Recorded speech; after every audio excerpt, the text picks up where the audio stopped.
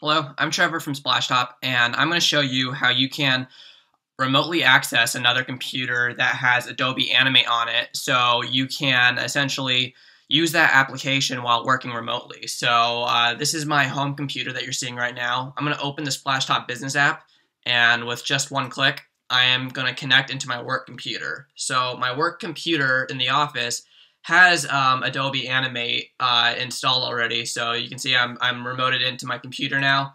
I'm going to open up the app and there it is. And uh, just give you a demonstration, hit play.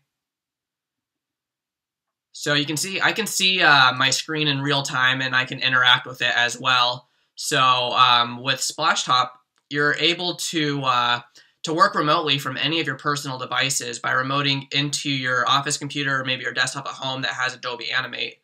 Um, so this is a great tool if you ever need to work from home or remotely. I'm going to close the application really quick and open up the uh, Splashtop page. So this is where you want to go, splashtop.com slash business.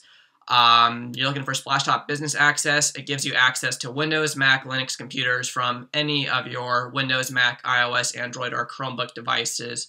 So from any of those devices, you'll be able to remote into your computer and uh, use Adobe Animate as if you were sitting right in front of that remote uh, computer. So start a free trial and see for yourself how uh, easy it can be to use Adobe Animate while working remotely. Thank you.